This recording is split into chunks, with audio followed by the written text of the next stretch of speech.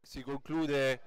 conclude mm, l'Assemblea internazionale di Città Slow, uno splendido lavoro da parte di tutti i delegati. Abbiamo rimesso al centro il concetto di, eh, di, sviluppo secondo il modello di Città Slow cercando di eh, trovare la giusta soluzione tra grandi metropoli e piccole comunità in via eh, che stanno scomparendo, i borghi rurali stanno scomparendo, le grandi città invece tendono uh, a diventare invivibili. Dobbiamo trovare una soluzione anche a, questa, anche a questo problema secondo uh, la visione delle, delle città slow. È un importante lavoro che ha visto portare avanti con un documento di programmazione anche il lavoro sul patto dei sindaci per il benessere equo e sostenibile. Eh, insomma, tante cose importanti che dalla Francia ci accompagneranno per il nuovo anno, nel quale proveremo a definire completamente il progetto del patto dei sindaci